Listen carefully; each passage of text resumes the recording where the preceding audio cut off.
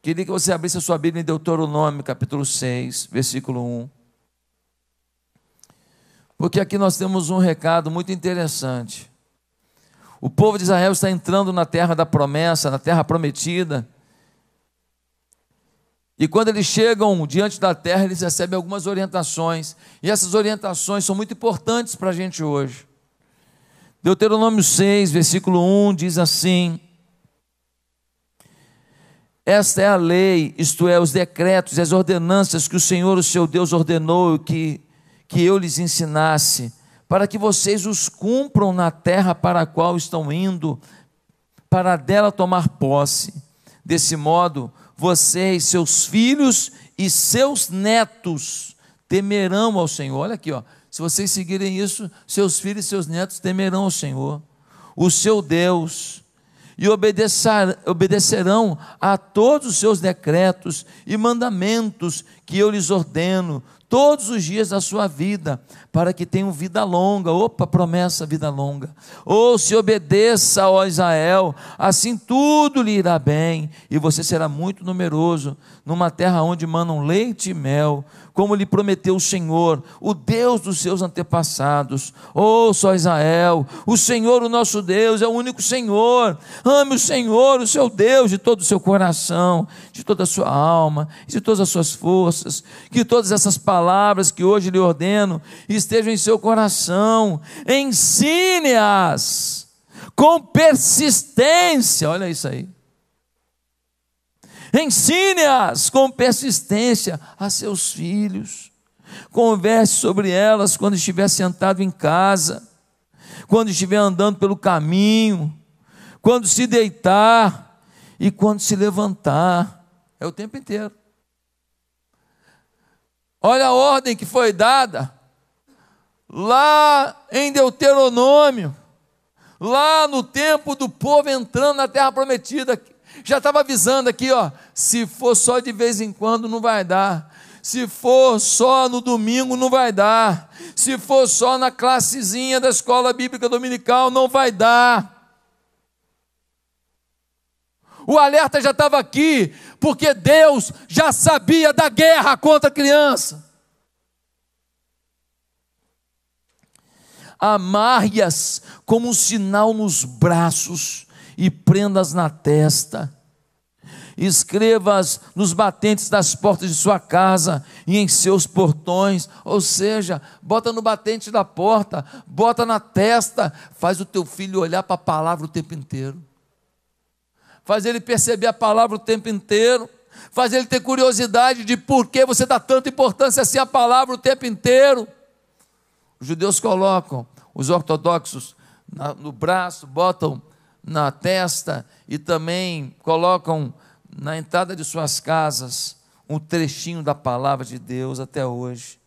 O Senhor, o seu Deus, os conduzirá à terra que jurou aos seus antepassados Abraão, Isaac e Jacó, dar a vocês terra com grandes e boas cidades que vocês não construíram, com casas cheias de tudo que há de melhor, de coisas que vocês não produziram, com cisternas que vocês não cavaram, com vinhas e oliveiras que vocês não plantaram. Quando isso acontecer e vocês comerem e ficarem satisfeitos, olha aqui, ele fala: se você se você ensinar seus filhos e vocês andarem nos mandamentos do Senhor, vocês vão prosperar e vocês vão ter é, é, poço que vocês não cavaram, vocês vão ter fruta que vocês não plantaram, vocês vão ter alimento que vocês não cultivaram, ou seja, vocês terão mais do que fizerem. Eu vou prosperar, eu vou fazer vocês irem além. Coisa maravilhosa, né? Mas olha a palavra agora, diz assim, versículo 12: Tenham cuidado Repete comigo: cuidado. Vamos ver qual é o alerta? Diz assim: Não esqueçam o Senhor que os tirou do Egito, da terra da escravidão. Temam o Senhor, o seu Deus, e só a Ele prestem culto, e jurem somente pelo seu nome. Não sigam outros deuses, os deuses dos povos ao redor, pois o Senhor, o seu Deus, que está no meio de vocês, é Deus zeloso. A ira do Senhor, o seu Deus, se acenderá contra vocês, e Ele os banirá da face da terra. Olha a palavra do Senhor. Ele está dizendo: Ó, oh, vocês vão entrar na terra prometida. Vocês fiquem firmes comigo. E lá vocês vão usufruir de grandeza. Vocês vão melhorar a vida. Vocês vão usar roupa bonita. Vocês vão poder comer McDonald's, já nem vão querer mais. Vocês vão querer comer sanduíche, agora hambúrguer, hambúrguer gourmet. É. Vocês não vão mais querer qualquer coisa. Quando chegar no aniversário do seu filho, em vez de ele pedir, pai, me dá um cachorro quente, vai falar assim, pai, posso ir num japonês? É, eles vão mudar os hábitos. Eles vão querer coisa mais gostosa. Eles vão querer coisa melhor. Eles vão querer roupa melhor. Eles vão descobrir que existem marcas de roupa. Olha, vocês vão prosperar. Mas toma cuidado. Porque com a prosperidade vem outras tentações. Eu tive lá no Ribeirinho agora. Eu fui numa comunidade chamada Irajá.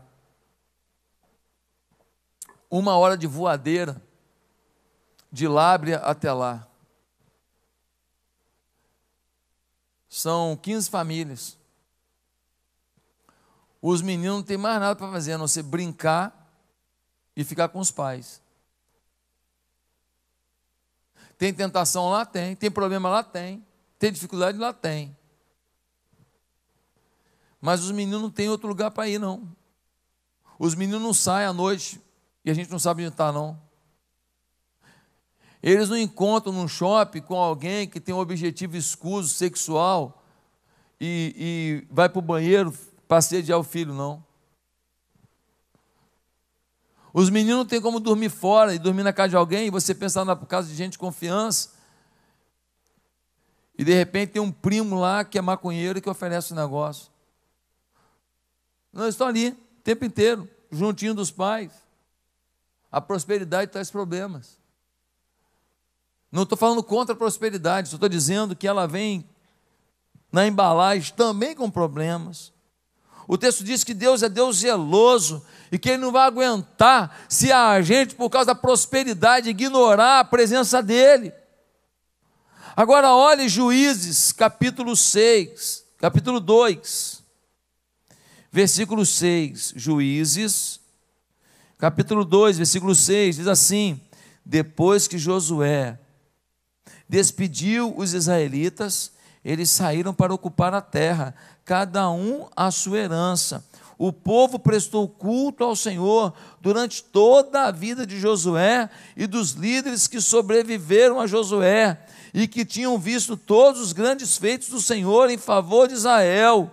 Josué, filho de Nun, servo do Senhor, morreu com a idade de 110 anos. Foi sepultado na terra de sua herança, em Timnat-Eres, nos montes de Efraim, ao norte do monte Gaás.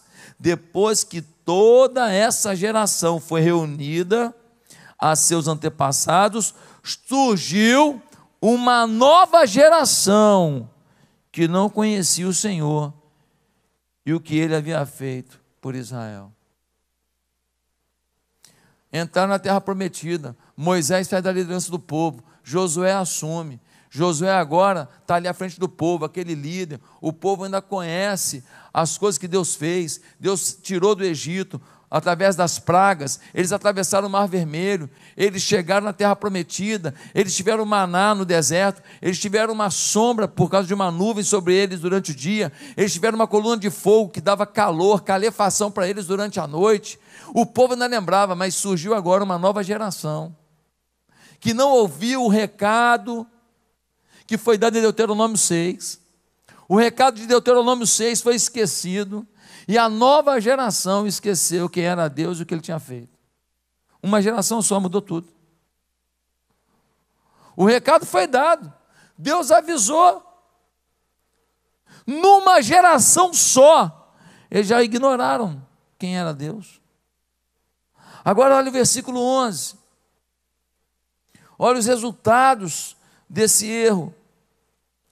Juízes 2, versículo 11, diz assim: Então os israelitas fizeram o que o Senhor reprova e prestaram culto aos Baalins, abandonaram o Senhor, o Deus dos seus antepassados, que os haviam tirado do Egito, e seguiram e adoraram vários deuses dos povos do seu redor, provocando a ira do Senhor. Abandonaram o Senhor e prestaram culto a Baal e a Astarote. A ira do Senhor se acendeu contra Israel e ele os entregou nas mãos dos invasores que os saquearam. Ele os entregou aos inimigos ao seu redor, aos quais já não conseguiam resistir. Sempre que os israelitas saíram para a batalha, saíam à batalha, a mão do Senhor era contra eles para derrotá-los, conforme lhes havia divertido e jurado. Grande angústia os dominava. Foi dado o aviso em Deuteronômio, não foi? Uma geração só depois, quando eles começaram a usufruir da prosperidade da terra, eles se perderam. Não ouviram o quê? Não ouviram a palavra. E Deus nisso, Deus é justo, Deus cirou, Deus falou: Eu abençoo, vocês pegam a minha bênção e transformam em maldição, que vocês esqueceram dos seus filhos. Vocês esqueceram das crianças. Vocês não colocaram no coração deles o chip da fé. Aí Deus tenta ainda salvar a situação, porque no versículo 16 vai dizer assim: Então o Senhor levantou juízes que os, liber, os libertaram das mãos daqueles que os atacavam. Deus tentando mostrar: confia em mim, eu posso fazer. Aí alguns juízes são levantados para tentar fazer o povo amar as coisas de Deus. Mas sabe o que aconteceu, gente? Versículo 17. Olha o 17.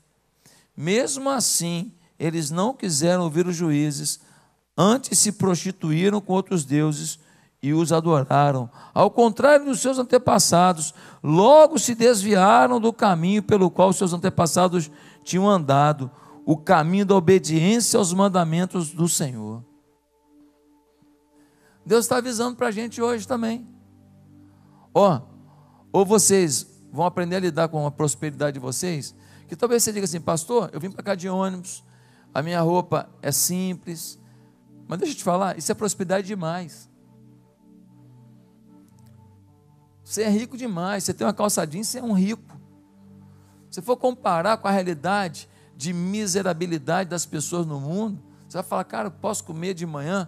Você que come três vezes por dia, café, almoço e janta, você é milionário. Você não tem noção do que as pessoas passam, não. Você não tem noção que metade do mundo acorda sem saber o que vai comer.